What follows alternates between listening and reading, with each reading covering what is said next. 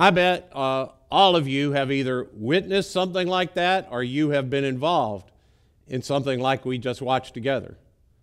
Maybe you're like me and you were scrolling through your feed and you saw someone you knew, family member, friend, and they shared an opinion and you immediately engaged in an argument with them. Now, maybe you, again, are like me and you typed out a whole comment and you, you then were smart enough to erase it and you didn't actually go into the argument, but in your head. Or maybe it was during the holidays and you were at uh, uh, dinner with your family and you found out that somebody in your family listens to the wrong news network, you know, the one you don't like, and you thought to yourself, come on, man, you're, you're smarter than that. And either you said something or you didn't say anything, but one thing's for sure you thought about them differently than you thought about them before. And there are some people you know that you just you can't listen to them when they start talking about certain things. You just have to get away from them. You can't be around them, and they may be short on information, but they aren't short on opinions, and they may not have all the facts, but they sure do have all the answers. And if if leaders of our country would just give you an hour of undivided attention and a commitment to do what you told them to do, oh man, things would be a whole lot different. Now, maybe things have always been that way in, in, our country, and probably to some ways they have. But almost all of us, almost everywhere I go, people feel like the strain in our culture is deeper than it's ever been, and that there are things we just can't talk about, it seems, anymore. That uh, we're in a place where the divide is deeper and bigger than it's ever been. I know of several families, not just one or two, but several families in our church that their adult children, they couldn't be together at Christmas because of these kind of, of things.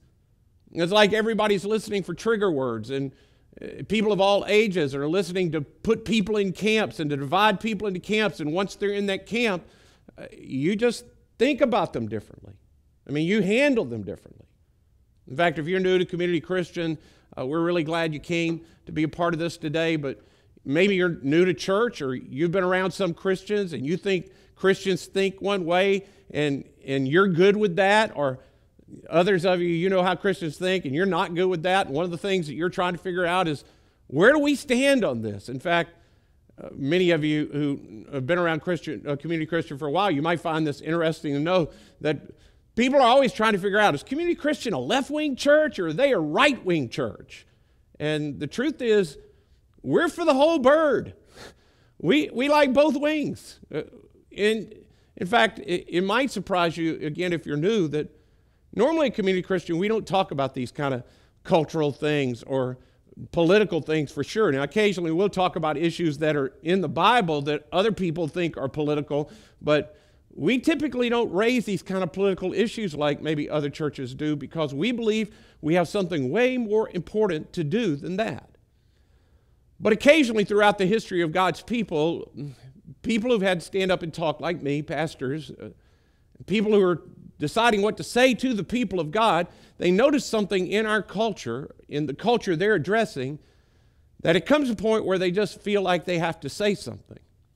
And this year, when we were trying to figure out how would we start 2018, and we were as a team brainstorming what were the things in our church that we were seeing, what were what were families struggling with, what were we seeing people have arguments about, about tension about, about anxiety about. When we began to think about what the topic should be, this current divide that exists in our culture, it felt like that if we did not address it, that we might become a bigger part of the problem instead of being what the church was intended to be when Jesus originally set it up. Now, you might not know this, but when Jesus originally was telling his followers what his kingdom, what his followers would look like, this was his description. He said, You are the light of the world. A city set on a hill cannot be hidden. Neither do people light a lamp and put it under a bowl. Instead, they put it on its stand, and it gives light to everyone in the house. In the same way, let your light shine before others that they may see your good deeds and glorify your Father in heaven. Jesus' desire for his followers has always been that no matter what the culture was doing, no matter what was happening politically, that we would do life, that our lives would be lived in such a way that people would see the good that God had put inside of us in contrast to the darkness that was around, and they would it would give light to the whole culture, and they would give glory to our Father in heaven. So to start this year, in this series over the next few weeks, we're going to talk to you about some characteristics of what it means to live as the light of the world, what it means to live as a city set on a hill, giving light to the whole thing. That we we believe these are characteristics that the Bible teaches that followers of Christ should do for everyone, always, that we should do for all people in all circumstances. And we want to look at these characteristics. These are things that are true of followers of Christ. And it should be true in all circumstances, with everyone, at all times. Now, if you're here and you're not uh, yet a follower of Christ, or you just came because somebody invited you, uh, these are things that for you, they're really optional. But the good news for you is that you can listen in now and you can hear not just what's optional for Christians, but for followers of Christ. This is what is expected of us. And when you see us go against it, well, you can point it out to us and, and help us get it back on track. Because of the nature of the divide that we have that exists in our culture, we believe that if followers of Christ, if, if we would begin to live this way, we would, really would become like a city on a hill we would become like a light in dark place. If we would consistently live this way with everyone always, that people really would see the difference that the church would make, and we could begin to bridge the divide that exists in our culture. So I want to start this by I want to take you to a very famous saying of Jesus. In fact, this is one of the sayings of Jesus that has made its way outside followers of Christ almost everyone knows this particular saying. He, he says this just a few moments after he says the thing about light of the world, a city set on a hill. He says, In everything, treat others as you want them to treat you, for this fulfills the law and the prophets. Now, that's commonly been known as the golden rule. And that last part of what he, he's saying is he just says, This fulfills everything God wants from you, the law and all the prophets. If you would just treat other people the way you want to be treated. But the real question is to apply this statement of Jesus, I have to first ask myself a question. I have to ask myself, how do I really want to be treated by others in every situation? Have you, have you ever asked yourself that? I mean, seriously? Have you ever sat down and thought to yourself, I mean, really intentionally, how is it I want everyone in all situations, whether it's my neighbor or my spouse or people in my family or my coworker or people who share my beliefs or people who don't share my beliefs, how is it I want to be treated by everyone in every situation? Well, the truth is, I had never really asked myself that question, not in any really thoughtful adult kind of way. So, as a part of this, that's what I did. And what I came up with is that for me, what I want from people is that I want everyone to treat me with respect, that I, I want to be treated with respect, and I want, I want to be given grace. And what I mean by that is I want everybody who, who interacts with me, I would like them to respect me as a human being. I'd like them to not speak down to me. I would like them to look at me as a full person. And when they look at me, I'd like them to know that I'm a person that's going to make mistakes and that I'm not going to get everything right. And so, therefore, when they see it, I'm going to need them to give me some grace. I'm going to need them to treat me with respect. That's what I would like. And I'd like them to give me grace when I mess up in those situations. My guess is many of you probably aren't that very different. But the idea that Jesus gets at is what I want other people to do for me, I should be willing to do for every person in all situations.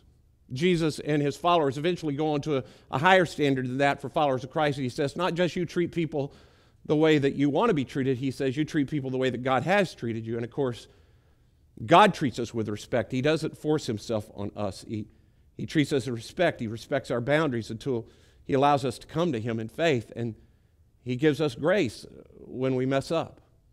Now, many respect basically means that I, I treat people with, with high regard. I look at every person and I treat them with high regard. It means that I value other people and I treat them as being valuable. It, it, that's what Jesus is asking us to do in Jesus' command when he says to treat every single person I meet, I treat them as valuable. I give them high regard. Now, that seems really clear to me. but maybe you think there's some wiggle room in there. Well, as time went on, the followers of Jesus began to expand on this and to talk about it in clearer details as they tried to help people apply it. One of the followers of Jesus, some people would say the closest follower of Jesus, a guy named Peter, who was known for being direct, he says it this way He says, Show respect to everyone. Now, Peter's making clear this isn't a suggestion. This isn't you think about it. This is a command for followers of Christ. Show respect to everyone. Now, again, that seems really, really clear to me. Show respect to everyone always. Not a lot of wiggle room there. And not a lot that is requiring of commentary by me. So I could just end this first message right there on show respect to everyone always. And it would be a memorable message at this point because I would end so early. But I know how so many of you, you know, you wait all week to get a chance to hear me talk, and you'd be disappointed if I ended now, so I won't. And then, of course, the other side of this is, is I thought about it a little bit. It's not just the command, it's not the idea that I should show respect. What I should do is really clear. The problem that most of us have, I, will rephrase that. The, the, I guess the problem that I have is not what should I do, it's how should I do it.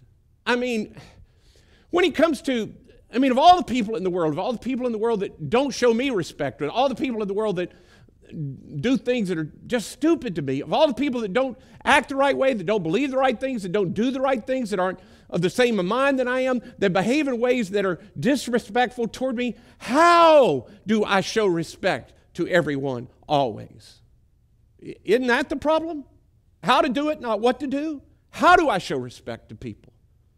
And the truth is, it doesn't come natural to anyone. I mean, it's not like human beings are born as little lights, beacons of, of respect factories. I mean, when, when you come out of the womb and the health professional who gives you life hits you on the backside to make you breathe breath into your lungs, you don't turn to them and lovingly coo at them, thanking them for allowing you to live. Instead, you scream like somebody ought to call DFACS. I mean, the whole growing up time, nobody looks at their brothers and sisters and respects their things. We try to steal their candy and take their toys every time that we think we can get away with it. There's no one who's really honest that could say, you know, the whole time I was a teenager, I treated my mom and dad, I treated other people, I treated my coaches with respect when I was with them and when I wasn't. I was always respectful. The point is, human beings have to be taught to respect. We have to learn how to show respect to each other. And one of the things that appears to have been lost in our culture as this divide has gotten deeper is that adults have lost the ability to show respect to other people. We've forgotten how to do this. So, in the time that I have remained, what I want to do is something that I don't often do. I, I, I, I, read on this, I have prayed about this, I've listened to other people talk about this, and what I have is I want to give you a list of how I believe followers of Christ can go about showing respect to everyone always. I don't do a whole lot of list when I teach.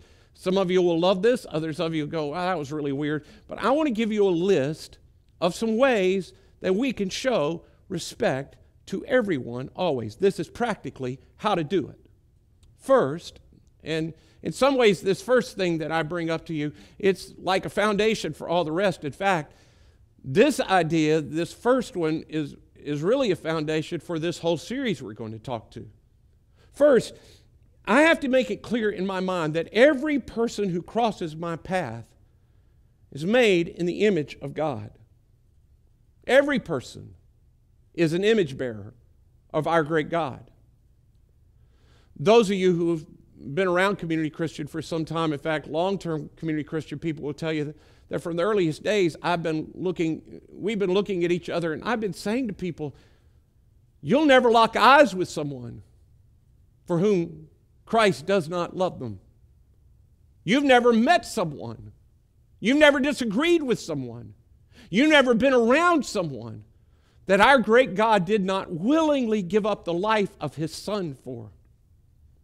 Our great God, He loves the worst person in this world better than you love anyone in this world.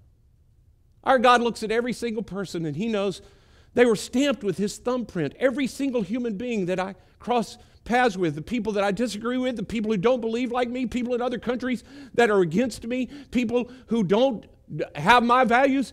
Our great God th- put His thumbprint on the life and soul of every one of them. I'm convinced that if I am ever going to show respect to everyone always, I have to get this crystal clear in my mind. I'm convinced in the times that I, I mess up on this, it's because this value slips a little bit in my mind. And I'm convinced that if you and I, as followers of Christ, are going to bridge the divide that is growing in our culture, you and I are going to have to be clear that every single person you meet is an image bearer of our great God.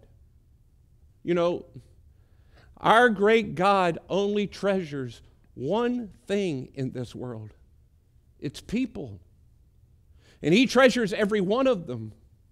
He looks at every one of them as somebody who was made in His image, someone for whom His Son died. And He asks followers of His to show respect to every one of them in every situation. This single bedrock truth is the foundation of learning how to respect everyone always. And once we get that tattooed on our heart and mind, it becomes easier to treat people who I disagree with as someone who is high value because they too are made in the image of God. They have great value to our great God. How are you doing with regard to this? With everyone, always. The second thing is respectful people learn how to disagree with people without demonizing them. Respectful people learn we can have spirited debates with other people without having to draw blood from them. Uh, we can dislike another person's opinion. We can dislike their position. We can dislike their behavior and the way that they treat other people without having to dislike the other person or to treat them as if they have no value. But let me just say this trait being able to disagree with people without having to draw blood from them, this is a learned behavior. And it seems like this is a behavior that our culture has been lo- losing the ability to, to give to each other. And the result is this growing divide in our country over, well, over everything, it seems. We spew disrespect out toward each other over issues that it seems like we ought to be able to talk about. In fact, if we're ever going to make progress, we're going to have to talk about. And this is where I believe Christians have to lead the way on this. Or, I mean, the long term effects of what's going on in our culture, the current trajectory of our culture has a way darker path than most of us, I think, realize. In my trying to, to learn about this, I, I, I read about one guy who talked about uh, being at a place at watching former Secretary of State Condoleezza Rice, who served uh, at the highest levels of our government over a long period of time when this growing political divide in our country has come to its worst point. He talks about at one point watching her in a debate with two people who were really opposed to her at almost every point. Every time that they would begin to speak, they would start out respectfully enough, but eventually they would get to the point that they would begin to demonize her personally, that they would begin not just to talk about her positions on issues, but they would talk about her personally and tear her down personally, that they would go to the place that it, it became to feel more like a personal attack than it did about positions that she was taking. They said, but every time they were amazed when it came Condoleezza Rice's uh, opportunity to speak, she would draw a breath and then she would say, Gentlemen, with all due respect, and then she would make her point. And the guy who was writing said, and it wasn't like that was just a phrase she used. She did go forward and she disagreed with them on their policies, but she did it with all due respect. Later, when he had a chance to talk to her, he noted this little phrase to her that she had used, and she laughed and said to him, You know, actually, that's, that's like my two second prayer. It's to remind me that I need to give all due respect because these people too are made in the image of our God, which we just talked about. These people too des- deserve my respect, even though I disagree with them. I use it as a two second prayer. When I read that, I thought, Well, there's something practically we could all learn. We could begin to use that, not just as something we'd say, but in a moment when you're in a conversation and somebody says something that you really disagree with and everything in you begins to rise up. Before you begin to say something back maybe you say out loud maybe you don't have to maybe you draw your breath and you just say it to yourself with all due respect to, to you as a person made in the image of god with all due respect and then you make your point. Maybe when you see somebody post a meme that just infuriates you or makes fun of somebody that you respect before you blast off something on social media, again, maybe you either start your comment or you say to yourself, with all due respect, and I remind myself that they deserve my respect. In your interactions with people at work, and your interactions with people who disagree with you, and your interactions with your family and friends, maybe you need to have that little prayer on your lips with, with all due respect. And it'll remind us to treat everyone always with the respect that they are due and not get caught up in the heat of the moment. I read that and I thought, that's something I practically need to learn. My point here is again, is that we all have to learn and we have to have practical ways to train ourselves to grow into people who respect everyone always. And I assure you, I think that with proper training, we can become people who disagree with other people, and we can disagree on the points that they're trying to make, but we don't have to be disagreeable and we don't have to dislike the other person. You can disagree without drawing blood. We can show due respect and we can begin to bridge the divide in our culture. Third, respectful people discipline themselves to believe the best about the other person. Maybe you didn't know, and Maybe you never heard this, or maybe just because you see so much that goes against this. Followers of Christ, there is actually a bedrock teaching of Jesus that lies at the, at the, at the foundation of all Christian behavior. He said, People will know that you're my followers by the way that you love one another. Just so we don't get fuzzy on this, most of the writings in, in the New Testament are just ways to live out this command of how we love each other in the church, outside the church. How do we live out a life of love? One of the most prominent followers of Jesus, a guy named Paul, who writes so much of the New Testament, expanding on this. At one point, he writes one of the most classic passages of literature. In fact, it's become so classic, lots of people have it read at their wedding and they don't even know it comes out of the Bible. It's really not about weddings, it's about how we are to treat one another. Paul, at one point, he gets to the end of it, and at the end of it, he basically is going to talk to us about believing the best about each other. Let me read to you this passage most of you will have heard. He says, Love is patient, love is kind, it does not envy, it does not boast, it is not proud, it does not dishonor others, it's not self seeking, it's not easily angered. Love keeps no record of wrongs. Boy, that'd be a big help in your disagreements in your family or at work if I mean, many of us know what it's like to live, live with a file keeper. Well, let me see here. Back in December 17th, 1999, you said. I mean, it's hard to make much progress relationally with somebody who's keeping a file on everything that you did that was wrong. Now, look at the next part. Love does not delight in evil, but rejoices with the truth. You know what that means? Love isn't walking around hoping that the person you disagree with will slip up and you'll see something wrong so that you can point it out. Love is not looking for evil. Love is not looking for wrong. Love is waiting to catch the other person doing right. Paul says, when you're walking around looking for wrong, that's not love. Love wants to find other people doing right. And then he says, as if just to expand on that, he says this Love, it always protects Always. Love it always trust. Always. Always hopes. Always perseveres. Now, if that sounds extreme to you, and you'd say, Paul, that's so extreme. I think Paul would say, Oh, good, you understood. It is extreme. Love always leans in, love is always bending, Love is always leaning toward the other person. Love is always looking for the opportunity to give the other person the benefit of the doubt. It's always looking to protect the relationship. It's always leaning to find something right. It, it's always doing the work. Love is doing the work. Love is always trusting. I'm going to do everything I can to try to trust you. I won't give up. It always perseveres. Love is always there. Paul is saying, love gives the other person the benefit of the doubt.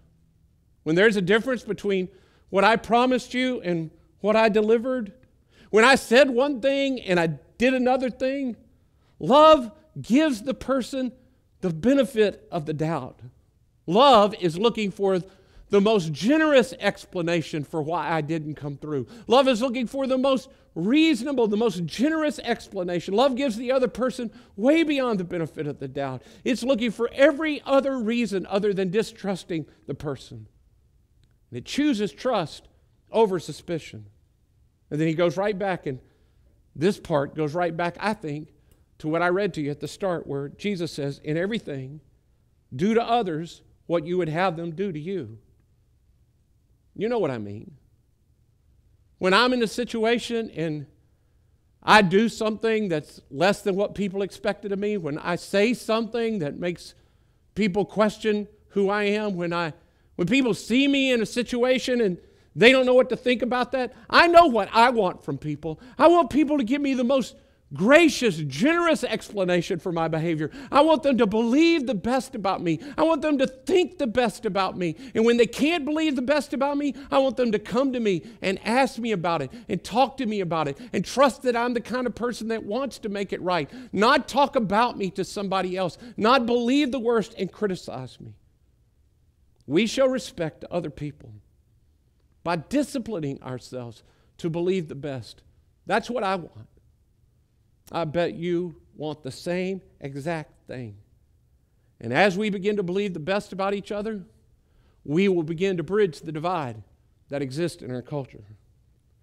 Now, the truth is, when I first made this list, I came up with a bunch of other things that I, I really don't have time to talk to you about. And at this point, I, I, think you already get the idea of how you go about showing respect. You could probably come up with your own list from here. But I did have one more that I thought particularly for our culture, I needed to say out loud before I ended. Respectful people refuse to label other people they disagree with, and they don't intentionally use divisive words to make their point. Proverbs 51 is probably a verse that most of us can memorize. A, a soft answer turns away wrath, but harsh words will make tempers flare. I think of a part of what has hurt so many of us in this recent growing tension in our culture is to sit back and watch family and friends who throw out divisive, hurtful, outright, I mean, wrong kinds of phrases to use about family and friends. And they do it in a way, they, it's amazing to me that they say this about people that they say that they love. And to be honest, it happens on both sides of the divide. We all know that when you label somebody racist or un American or liberal snowflake or Nazi, we all know that those are not words that anybody's using to try to bring people closer. Those words are intentionally meant to divide, they're intentionally meant to anger. So people who are serious about showing respect to everyone always decide at some point there's some words and phrases I'm just not going to use. There are some words, no matter how much the anger in me rises, I'm just not going to say. They don't do it in the name of being politically correct. They do it in the name because they're followers of Jesus, and our leader told us that we were to love each other. We realize that there are words and phrases that are so incredibly divisive and so disrespectful that the words themselves hurt people and they shut down discussion and they move nothing forward, we decide we're going to use our words differently and we just won't say those things to each other. And by the way, I, I'm including that we won't type them and write them on social media, which has become the battleground for a lot of our war. I mean, this divide that goes on in our culture these days. If we're going to be the light in a dark place, if we're going to be a city on a, on a hill, set on a hill that'll bring light to the whole place, if the church is going to help lead the way in bridging the divide in our culture, I, I urge you, followers of Christ, in all our discussions, spoken, written, social media, that we remove words that do nothing but incite anger and divide people. We use our words to bridge the divide and show respect. I'm not saying you don't engage. I think followers of Christ need to engage. And I don't really care which of your opinions you hold. I think you need to engage, but we need to engage differently. We need to show respect to everyone always. Now, here's what I want to do as we close out this first message. First, I want to really urge you to come back and be a part of this series. I, I think there's going to be something for all of us to learn. Even if you're not in this current divide thing, many of us have relational divides that you need to be at work bridging. And secondly, I want to urge you to get into a small group where you can talk about this. And tonight, the group link is happening. And maybe you're at a place where you've never been in a group. Group link would be where you need to come. Or maybe you've decided, I want to get out of the group that I've been in where I already know everybody's opinion and I think they all agree with me, and I'm going to take a chance to go out and I'm going to practice showing respect to people I disagree with. I'm going to take a chance that I would be in a small group and I'd have a chance to actually practice showing respect to everyone always. I'd urge you to come to Group Link tonight and maybe find a different group to be in. But here's how I want to urge all of us to end this with. I want you to look at this list that, that I just gave you about showing respect to everyone always. That we see people as image bearers and that we can learn to d- differ with people without demonizing and we give people the benefit of the doubt and we believe the best and that we don't use any incendiary words and we don't label people. As you, as you scroll through that list, as, as I was talking through that list, was there any one of them or more that you felt a little nudge? Maybe the Spirit said something to you that that's the one for you? Which one of these would your family say that you need to work on? Would you be willing to have a conversation with somebody who would tell you the truth, not just seek to build you up, but they would love you enough that they would tell you the truth about which one of these you need to change? For extra credit, would you be willing to talk to somebody you know differs with you and ask them which of these that you need to change? So that you can show respect to everyone always. And then when they tell you, ask God to help you change so that you can be a part of bridging the divide by showing respect to everyone always.